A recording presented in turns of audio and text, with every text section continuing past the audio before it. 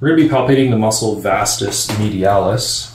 As a preference myself, I'm going to actually start with the insertion of vastus medialis and work our way up towards the origin.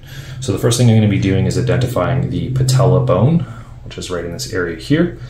And I'm going to be feeling more the medial aspect or medial border of the patella. And now I'm going to ask my partner here to lock her knee. Great.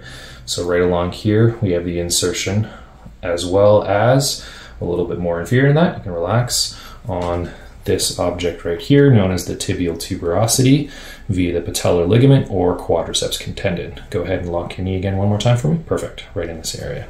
So these are the two insertion points, the medial aspect of the patella and the tibial tuberosity. Now, for the muscle belly, it's often described as having a teardrop shaped muscle. So you're going to see the predominant muscle belly in this area here. So you can go ahead and lock your knee for me. Great. So right in this area, this is the most visible, palpable part of vastus medialis. However, it actually extends quite a bit up towards the intertrochanteric line. The first or lowest of the origins, I'm just going to be hooking around towards the back side of the femur and again, I'm going to ask her to contract her quads. Good. I get lifted up and off. This right here is the medial supracondylar ridge of the femur. Now I'm going to go up, basically pushing down sartorius and hooking my fingers towards the back of the femur.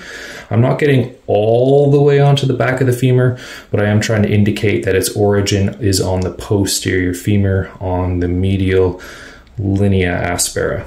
I'm going to continue following that all the way up. I'm going to ask her to contract her quads for me. Good. I get lifted up and off.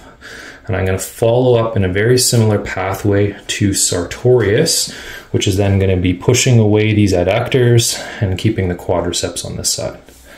We're going to go continue working our way up. Again, can you lock your knee for me? Good. And relax. So if you can recall from Sartorius, or if you've watched the previous video, Sartorius is actually flexing the knee. So I will not be feeling Sartorius as I ask her to, in this case, extend her knee. Go ahead and do that. Good. So right here is rectus femoris but I'm going medial to rectus femoris and deeper to rectus femoris. I'm going under a little more medial. And when she locks her knee for me, my fingers get lifted up and then out. Good, like so.